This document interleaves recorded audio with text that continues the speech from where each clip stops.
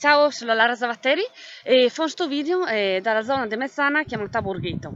Eh, allora, non so se sentire tanto o se saranno dei problemi, eh, comunque le, le sono un piccolo video eh, perché siccome è dei giorni che è molto vento magari ho dei problemi per quanto riguarda l'audio. Allora, sono all'inizio di Mezzana, scusami, mi mangio le lacrime perché è veramente un freddo bestiale.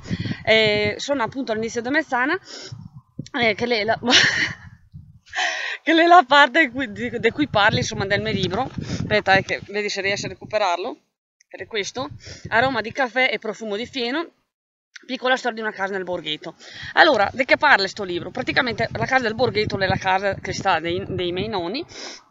E lei anche la casa in cui abita adesso, scusami non sono commossa ma lei, lei il vento e il freddo che mi fa venire giù le lacrime ecco e, e allora quindi parla di storie che le vere tranne alcune leggende, storie paurose delle piccole storie insomma, del, del borghetto. Che è sto borghetto? Allora, eh, non è una località, è un modo di identificare una zona. Sta zona era quella eh, praticamente alle mie spalle, sono qui nei prati sotto praticamente, la zona del stradone eh, partendo da, eh, dai, eh, dalla prima casa di Mezzana, quella vicino alla fontana, eh, per chi che viene da, da, da, Plan, da piano di Comezadura, eh, fin dentro un po' prima dell'albergo Ravelli e praticamente qui che era su Stradone e tutti qui che, che era su insomma erano gli abitanti del borghetto e anche adesso gli abitanti del borghetto questo libro appunto parla di che? Parla intanto quel che capita eh, nella mia casa, per esempio, che delle storie eh, con la S maiuscola, ad esempio delle fosse ardeatine se parla, eh, oppure ehm, quel che capitano, sai, per esempio quando a Mezzana era ai tedeschi, qui si parla anche un po' in generale.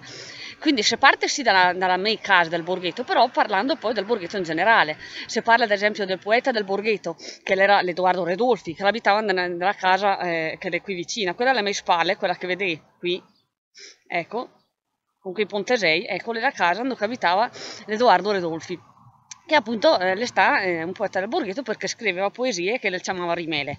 Ecco, eh, si parla dopo per esempio di Mittendorf. Allora, per chi che non lo sa, Mittendorf era il posto dove era sta eh, mandà ehm, i vermigliani eh, durante la prima guerra mondiale eh, proprio perché eh, qui eravamo Austria e in pratica gli era stati mandati in questa località eh, che era eh, una sorta di campo, campo lui lo chiamava Barackenlager proprio perché era un campo di le baracche in cui ha pati miserie, freddo, fame, tanti e morti, e è stati mandati via per alcuni anni e poi tornati per trovare Vermiglio raso al suolo. Ecco, e, e, quindi parli di questo perché direi, perché che c'entra Vermiglio col, col borghetto Mezzana? C'entra perché eh, in pratica era la storia di una delle abitanti del borghetto, eh, che era la Maddalena Gabrielli, che la sposò poi Guido Lucetti e, e quindi la si è poi trasferita a Mezzana. Ecco, e, e, quindi si parla per questo di Mittendorf. E, e quindi che dentro tutte storie di questo genere si parla appunto, come di prima, sia della mia casa sia un po' del borghetto in generale con dei ricordi con eh, robe che mi contava miei nonni che mi contava anche mia mamma eccetera o che so di me e, e, quindi può essere bello per tutti coloro che abita qui oppure che ha dei genitori o degli avi insomma che veniva da Mezzana e, ehm, ecco ho fatto un video in dialetto sperando che per, per, anche per quei ehm, su Facebook, visto che hai fatto il gruppo Oriundi di Mezzana della Val di Sole, che magari lontani, però pensi che comunque un po' di DL di Mezzana o anche tanti lo capisca. Allora, intanto saluti, eh, guardi se riesce a farvi vedere il vergotto un po' qui, se, muovendomi, ecco questa qui, eh, alcune delle case del borghetto, se mi giri da qui, vede a mo', ecco, eh, è un po' difficile perché sono qui in una bufera praticamente e quindi farvi vedere un po', eh, un po' difficoltosa la storia. Comunque insomma, ecco, quel che vedrete me del borghetto, visto dai prati sottostanti. Allora, vi ripeto che il libro, eh, se volete oro, è questo, aspetta che vedete, se, se vedete, ecco, allora potete mandarmela amici, sia a Mezzana passa a Mezzana, via 4 novembre 21, ecco, eh, oppure mi trova su Facebook, la Rasa Vatteri, eh, oppure anche nel gruppo tutti i libri della scrittrice La Rasa Vatteri.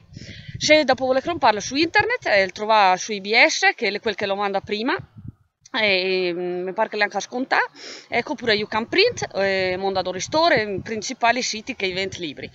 Eh, oppure ancora se in libreria eh, basta dire il nome dell'autore, la Rasa Vatteri, eh, il titolo, aroma di caffè e profumo di fieno, piccola storia di una casa del borghetto. Aspetta che mi sono un attimo il naso perché mi desplasma a star qui in questa bufera. Ecco. eh, piccola storia a casa del borghetto, del borghetto e, e se editore You Can Print, scritto You Can Print, ecco comunque eh, se cerca il titolo vedete come l'è scritto. Allora se vedo mandare il crompia non crompia, certo crompare costa solo 8 euro e lì ben ricordo, le, dite che è un piccolo libro di memorie, no? insomma ovviamente attiri acqua al mulino, però comunque, però insomma eh, se volete un ricordo da Mezzana, se da Mezzana, se sei...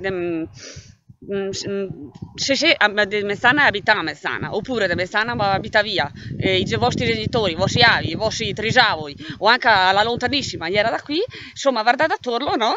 Buon. Naturalmente scherzo, insomma, senza nessun impegno, comunque insomma se vi interessa ecco eh, Crompalo oppure se avete qualche problema senza impegno sempre naturalmente potete scrivermi eh, al mio indirizzo Lara Zavatteri, tutta K, chiocciola gmail.com ecco mi eh, rispondi e poi anche spedirvi il libro senza nessun problema spedissi in tutto il mondo quindi potete spedirvi eh, il libro se avete problemi magari a reperirlo da qualche banda o roba del genere. Oppure vi aspetti anche a casa basta che insomma mi mandassete un messaggio su Facebook oppure la posta elettronica.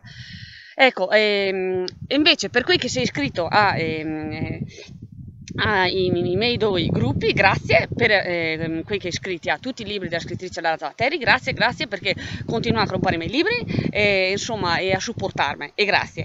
E anche grazie mille a um, tutti quelli che sono iscritti a Oriundi eh, di Mezzana della Val di Sole, perché è un bel gruppo eh, che vedi che interagì anche se insomma magari non metti su vergogna anche a Masha, e soprattutto a Patrizia, grazie per il tuo supporto e insomma Grazie a tutti, veramente sono contenta perché con il gruppo degli oriundi le modo anche quello per mantenere eh, la memoria e per trovare dei pezzi insomma di mezzana che eh, magari se la desmentega o insomma comunque mm, voi insomma continuate a ricordare. Allora mi vi ringrazio, vi aspetti su internet, a casa, vi aspetto a mezzana tutti qui che, che vuol passare la porta lei aperta. Ciao e mi raccomando di crompalo.